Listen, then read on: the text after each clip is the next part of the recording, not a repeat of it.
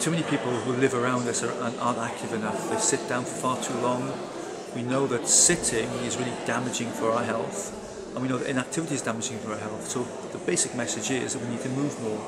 So what in ABM what we're trying to do is to pull together our partners and stakeholders from across the half million people who live around us here to try and engage in a strategy which is going to help us achieve that, that goal.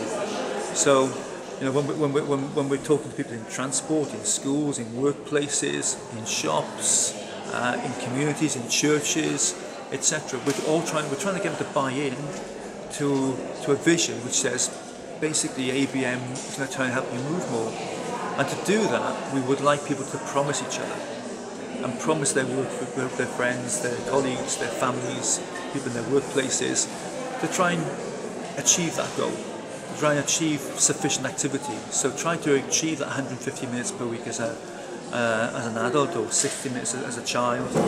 Well, the Daily Mile is an initiative, particularly for primary schools, where the children run for 15 minutes every day and they do it outdoors and they do it in a social way and non-competitive because it's not a race and it's fun.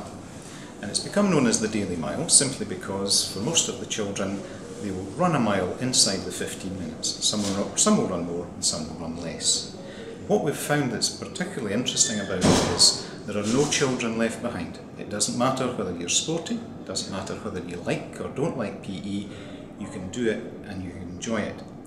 And one of the groups that have benefited greatly are those children with SEN because they join in too and they do it at their own pace, in their own time, but they're outdoors having fun in the fresh air with their friends in the class and it's been a fantastic benefit to them.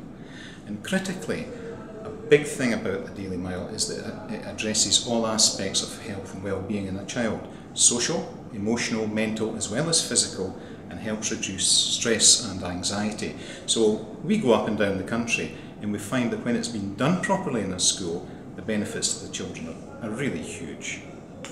Yeah, I think it's, it's vital. Any strategy to change the activity of health in Wales um, needs to be in collaboration. There are so many good partners in terms of education, uh, health and, and sport. Uh, I just think we've got it all. If we can just put it together, we, we can double the sum of effort and double the sum of output within a very short period of time.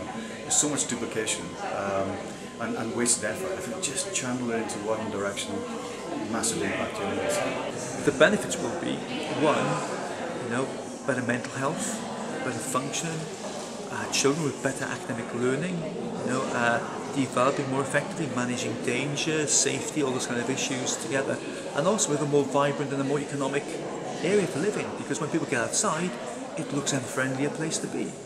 Uh, so, our, our, aim is to try and develop a strategy to try and achieve that, and, and we've pulled a group of people here together today, a range of stakeholders across the area with all their constituents, to try to be evangelical in some respects and spread this, me this message across the health board.